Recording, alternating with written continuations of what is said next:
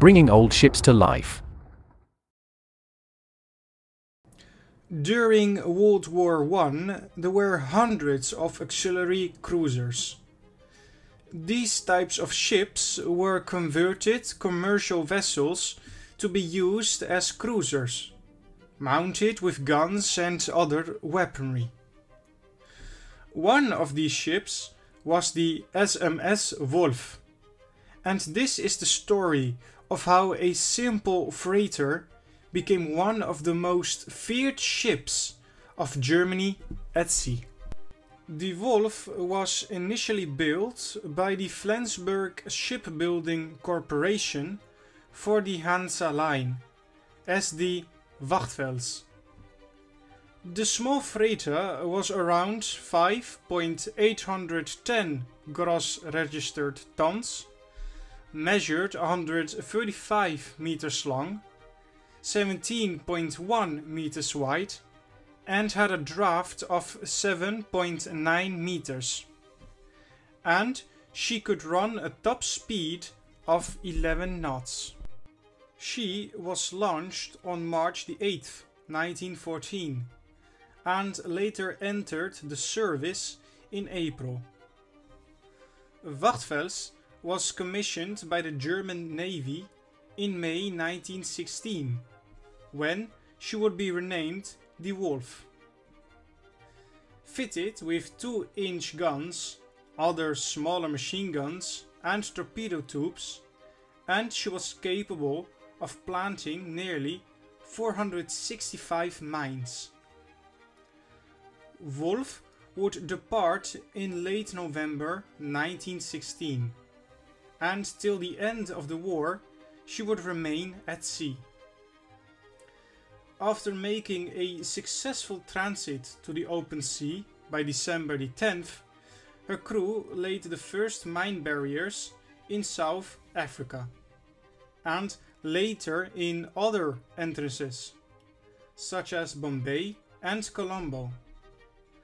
After this, they had finished laying out the mines by February the 19th, from which they began hunting enemy merchant ships. Ironically, the first ship the Wolf had captured was actually a ship of the same class. The now British flagged SS Turritella, which started life as the Gutenfels in 1906. She was seized by the British in 1914 while in enemy port. On February the 27th, the Turritella was captured by the Wolf, sending over 30 men to take control of the ship.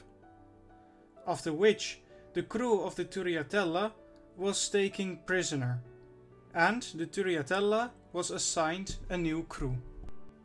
She would be renamed Iltis, and she would be armed with 25 mines and a 12 pounder gun. However, before a week had passed, Iltis was scuttled after an inescapable encounter with the HMS Odin on March the 5th. During the month of March, the Wolf would go on a spree, capturing and sinking three more British ships freighters Juma and Wordsworth, along with the sailing ship Dee, which altogether totaled 8.830 gross tons, minus the Iltis. By this point, the Wolf was in need of some repairs, so she anchored around 600 miles north of New Zealand on May the 22nd. Ten days later, on June the 1st, a steamer was spotted on the horizon. Now, one major advantage of the Wolf was that the ship carried a seaplane close to her poop deck. Now, the name of this seaplane was the Wolfchen. The crew rushed to get the plane airborne and scout the unknown steamer, dropping a note which stated, Do not use wireless, stop your ship immediately, and dropping a warning bomb, which resulted in the crew surrendering. The steamer was identified as the 3.947 gross ton ship Wairuna. Both ships sailed to Sunday Island, where they anchored, and Wolf's crew took any valuable assets, such as coal, which the Wairuna was carrying more than 1.200 tons of. Also resupplying on food, which the freighter was carrying a load of cheese, milk and meats. On June the 17th, when the captured ship was no longer of value to the wolf, they scuttled her with explosives and continued on. She would lay out two more minefields, but wasn't able to complete the third one due to a close encounter with a British warship. The crew laid out a fourth minefield off of Singapore on September the 3rd. After this, the crew celebrated as they anticipated that the ship would steam to a neutral port. By then, the ship was at sea for 277 days. But plans didn't go through. On September the 26th, they encountered a Japanese passenger cargo ship, the Hitachi Maru. Wolf fired two warning shots and ordered the ship to stop, but Captain Tomonoga ignored the warning shots and had men stationed on her 4.1 inch guns. The captain of the Wolf saw this happening and assumed it to be preparations for an attack and ordered to open fire on the Hitachi Maru. 14 men would die and 6 wounded on a Japanese ship before Captain Tamanoga surrendered. The ship was carrying valuable cargo and passengers, so the captain of the Wolf decided to have another prize. At the end, all the passengers and crew of the Japanese vessel were taken aboard, and the two ships continued to sail together.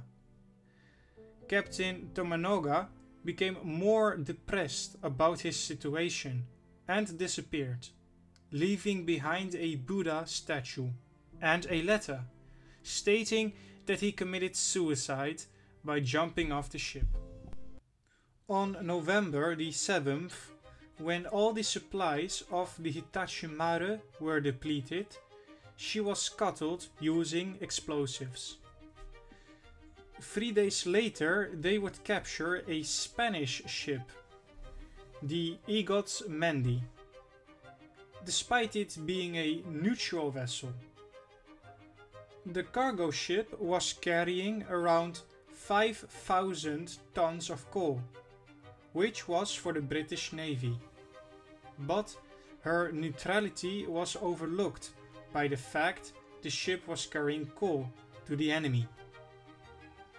Wolf took a thousand tons of coal, and she and her prize set out for Germany. On February the 24th, 1918, the two ships encountered thick fog, and the Igotz Mendi wandered until she grounded off of Denmark, where POVs and other souls were taken off the ship. Wolf, realizing that the ship was grounded, decided to abandon the ship and steam for Germany.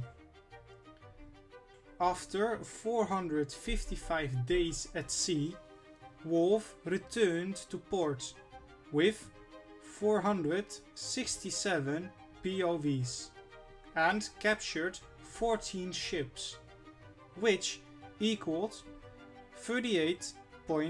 38.391 gross tons. Another 13 ships were sunk by the mines laid by Wolf, which totaled 57.862 gross tons.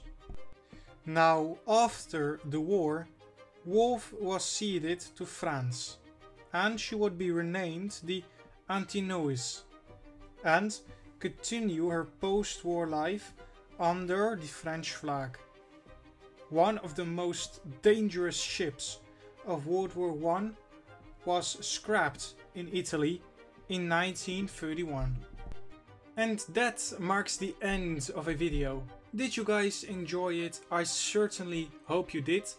Firstly, a big thank you. We have reached our goal, a thousand subscribers on the Old Shipping Lines YouTube channel. It blows my mind really that so many of you guys actually like and enjoy my content. Um, it means so much to me personally. So of course there shall be a thousand subscriber special video, but I will explain how it works in a other video. Um, so again, a big thank you from the deepest of my heart. And uh, this voyage has been amazing so far, and I hope it will never end. Um, so like I said, I hope you enjoyed this video of the SMS Wolf. Um, you certainly didn't want to meet this ship in the First World War. Um, if you have any comments or thoughts on this video, please leave them in the description down below. I love reading your guys' comments and I respond to every and each one of them. So again, if you have comments or thoughts, leave them in the description down below. And if you have friends who like ships or ocean liners, please show them my channel. Um, and with that out of the way guys, I wish you a good night or day wherever you are and we will see each other on the next video. Goodbye.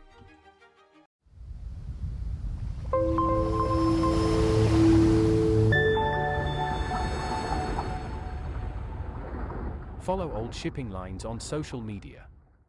Thanks for watching.